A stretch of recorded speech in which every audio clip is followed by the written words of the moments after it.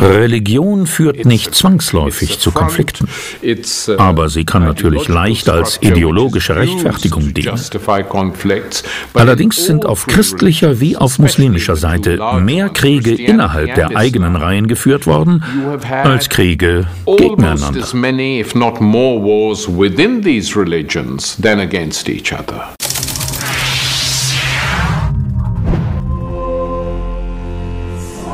Jahrtausende nach Abraham erobern die Anhänger Mohammeds die heilige Stadt Jerusalem.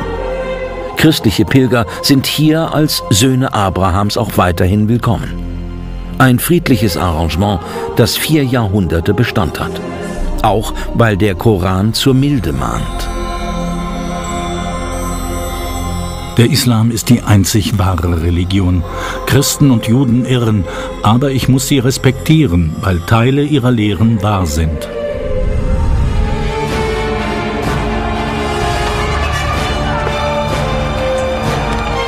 Im 11. Jahrhundert greifen islamische Eiferer nach der Herrschaft im Heiligen Land. Christliche Kirchen werden geplündert und zerstört, Pilger ermordet. Ohne Erlaubnis darf jetzt kein Andersgläubiger mehr die heiligen Stätten in Jerusalem betreten.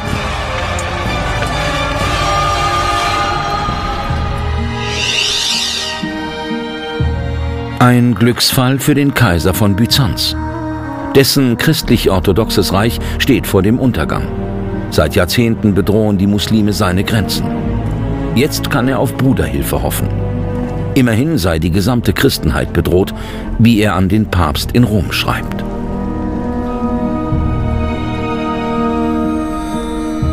Auch die kleinste militärische Unterstützung wird gegen die gottlosen Heiden von großem Nutzen sein, für unser Reich und für die ganze Christenheit. Der Plan geht auf. 1095 ruft Papst Urban II. alle Christen dazu auf, die heilige Stadt zu befreien von einem gottfernen Volk mit ziellosem Gemüt. Urbans Worte entfachen eine hysterische Massenbewegung. Gott will es, Deus lo vult, soll die Menge skandiert haben.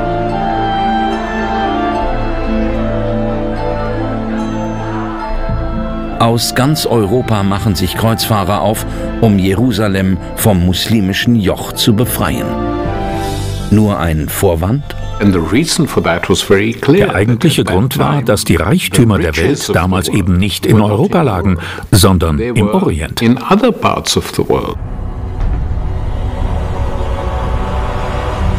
Die ersten Opfer der plündernden Eiferer sind vielerorts die Juden. Allein im ersten Jahr der Kreuzzüge werden 5000 Menschen ermordet.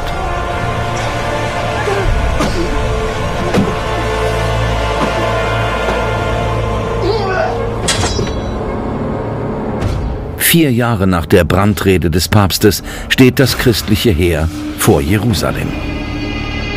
Verhandlungen über eine friedliche Übergabe, wie zuvor bei den Muslimen, gibt es nicht.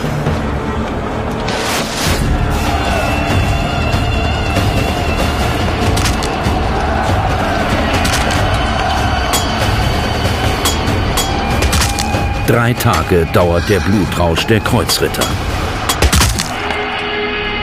Wie ein Chronist berichtet. Alle Feinde, die sie finden konnten, streckten sie mit der Schärfe ihres Schwertes nieder, ohne jemanden zu schonen, und erfüllten alles mit Blut. Am Ende haben die Soldaten Gottes 30.000 Menschen ermordet.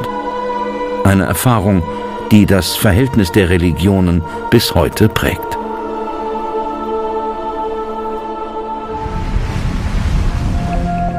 »200 Jahre wird die christliche Herrschaft im Nahen Osten dauern. Eine kulturelle Blüte wie im muslimischen Spanien gibt es nicht. Die rabiaten Franken mit ihren Kreuzeschwüren verbreiten Angst statt Bewunderung. Und statt den Glauben der Muslime zu tolerieren, rufen christliche Theologen zur Schmähung des Propheten Mohammed auf.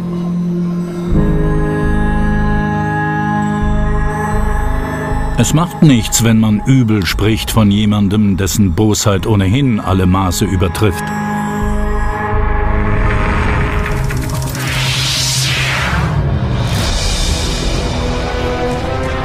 Gegen Ende des 12. Jahrhunderts beginnt die Rückeroberung der christlichen Königreiche. An der Spitze der muslimischen Streitmacht steht kein fanatischer Rächer, eher ein kluger Taktiker. Saladin, der Sultan von Ägypten. Nach der Eroberung Jerusalems gewährt er den Christen freien Abzug. Gegen Lösegeld. An den neuen Machtverhältnissen ändern auch zwei weitere Kreuzzüge nichts. Dann tritt auf christlicher Seite einer in Erscheinung, der auf Worte und nicht auf Gewalt setzt. Der Stauferkaiser Friedrich II.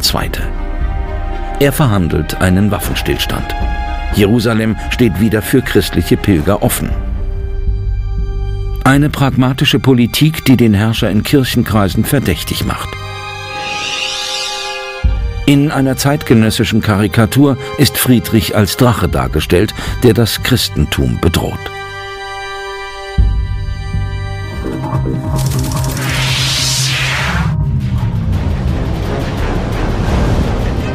Im Orient geht das goldene Zeitalter des Islam mit dem Angriff dieser Reiter zu Ende. Ausgerechnet die heidnischen Mongolen versetzten dem muslimischen Imperium den Todesstoß. Äh, Bagdad wird zerstört, aber das Reich war zu der Zeit schon außerordentlich schwach. Es hatten sich da sozusagen äh, unter einer formalen Oberhoheit des Kalifen äh, überall äh, irgendwelche mehr oder weniger großen äh, Herrschaftsgebiete entwickelt.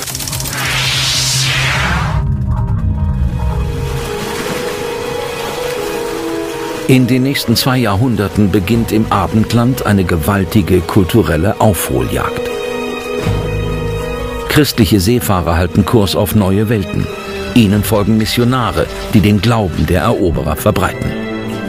Reformatoren wie Martin Luther zweifeln die Autorität der Kirche an und spalten sie. Letternsatz und Druckerpresse verstärken den religiösen Wandel. An dessen Ende die Trennung von Staat und Religion stehen wird.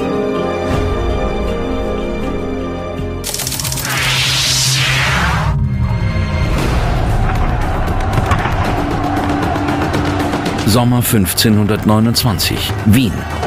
Die Hauptstadt des Habsburgerreiches unter Kanonenbeschuss. 20.000 Soldaten verteidigen die Stadt gegen 120.000 Angreifer.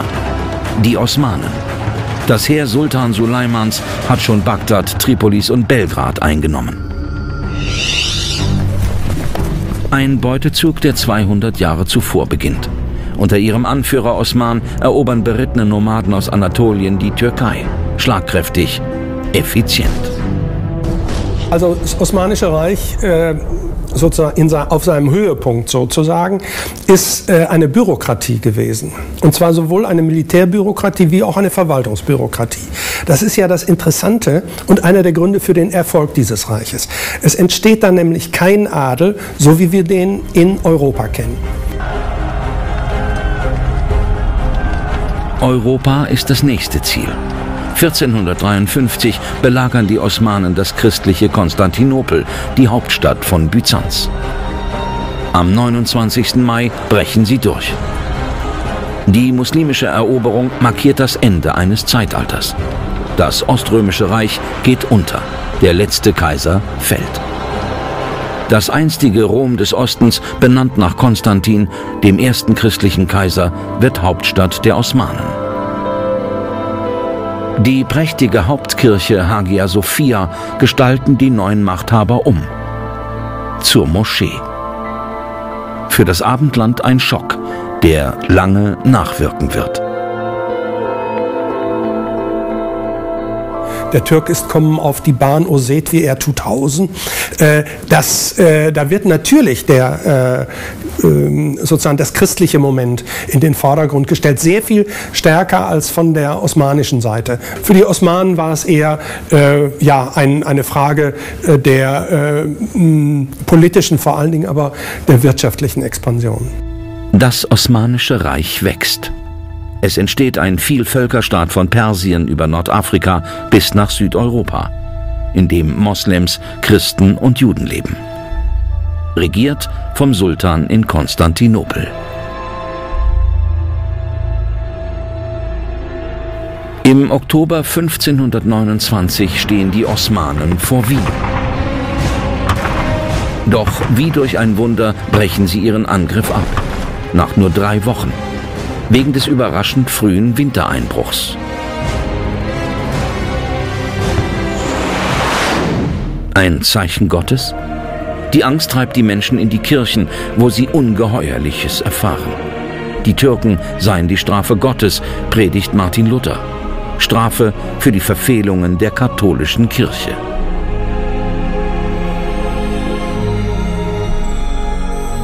Wie der Papst der Antichrist ist, so ist der Türke der leibhaftige Teufel. Es gibt also zwei sozusagen große Gefahren für das Christentum, äh, also in seinem Verständnis. Das eine ist der Sultan äh, des Osmanischen Reiches und das andere ist natürlich der Papst in Rom. Und der Papst in Rom, das ist der Schlimmere, denn der wüsste es eigentlich besser. Protestanten gegen Katholiken. 30 Jahre Tod und Verwüstung im Abendland. Der Dreißigjährige Krieg wirkt lange nach. Der größte Aderlass bis zum Zweiten Weltkrieg. Das ausgeblutete Mitteleuropa sieht sich 1683 erneut bedroht. Zum zweiten Mal stehen die Türken, wie man die Osmanen nennt, vor Wien. Großvezier Kara Mustafa belagert die Stadt.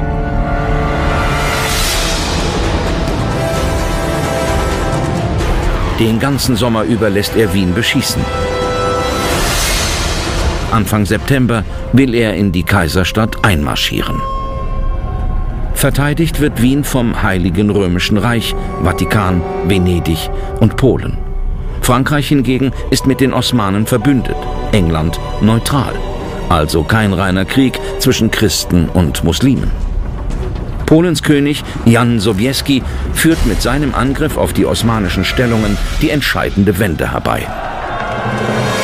Kara Mustafa muss fliehen. Damit hatte er nicht gerechnet. Der Anfang vom Ende des Osmanischen Weltreichs. Ich würde sagen, diese ständige äh, Bereitschaft, Kriegsbereitschaft oder die Befindlichkeit in Kriegszuständen hat einfach so eine, auch eine reiche Gesellschaft wie diese einfach dann erschöpft. Irgendwann ist eine Grenze gegeben. Das Osmanische Reich im 19. Jahrhundert gilt als rückständig, wird verspottet als kranker Mann am Bosporus.